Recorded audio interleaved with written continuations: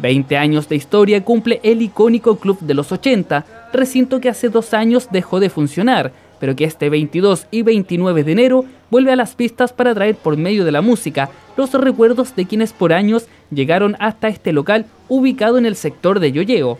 Gastón Orozco, fundador del Club Los 80, habló sobre lo que significa cumplir dos décadas de historia. La idea es mantenerse, mantener el contacto con la gente, así es que en eso estamos. Y bueno, de los 20 años nosotros hemos sido pub, mega fiestas, así es que hemos eh, hecho hartas cosas y nos sentimos bastante bien porque a lo largo de este tiempo eh, y ahora se ha notado con, esta pandemia la gente nos no ha echado mucho de menos porque antes teníamos un local, ahora no tenemos el local. El aniversario se celebrará en dos jornadas debido al retroceso de nuestra comuna a fase 3.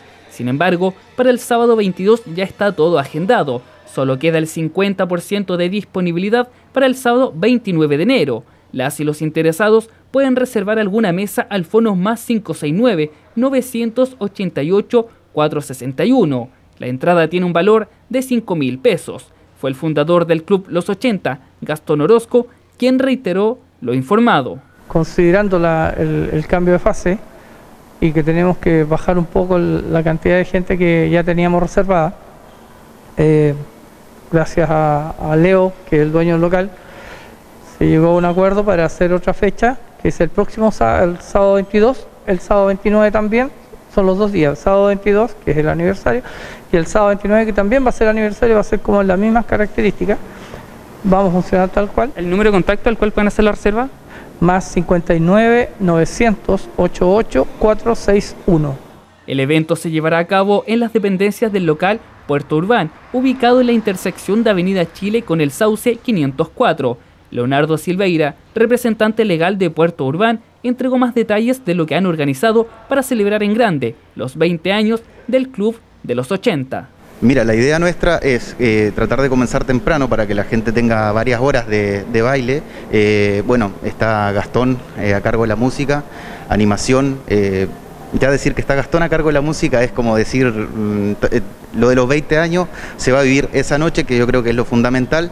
Y aparte vamos a tener regalos, van a haber tickets de descuento para próximos eventos de lo que se viene y obviamente la fecha del 29, sábado 29 si mal no recuerdo, Evidentemente se tuvo que hacer por el retroceso de fase, eh, no queríamos dejar a nadie afuera, sabemos que es complicado dividir el mismo evento en dos días, pero bueno, creo que la gente lo va a saber entender y va a haber gente que va a poder disfrutar el sábado 22 y otra el sábado 29 y no es por nosotros, es netamente legal, así que creemos que la gente va a acompañar y estamos contentos con eso. Las y los interesados en ir al aniversario deben tener claro que para reservar mesa deben contar con su pase de movilidad. Este es el principal requisito para ingresar.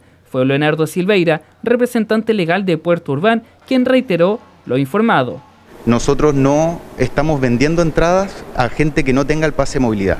Entonces, al hacer preventa, eso nos permite a nosotros hacer el filtro. O sea, nosotros no vamos a tener gente esperando afuera por si hay entradas sin pase de movilidad.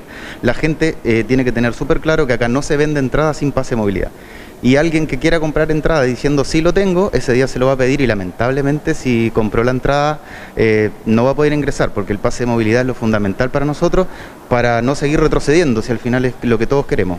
Así que ya sabe, si quiere ser parte de la celebración de los 20 años del Club Los 80, debe contar con su pase de movilidad y reservar ya su mesa para no quedarse sin alguno de los cupos. Esto considerando que con el retroceso a fase 3 los aforos se reducen. Por otra parte, les comentamos que las puertas se abrirán a contar de las 21 horas para que el público comience a ingresar.